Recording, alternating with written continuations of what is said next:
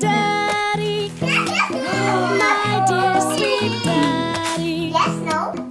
You make me happy when yes. I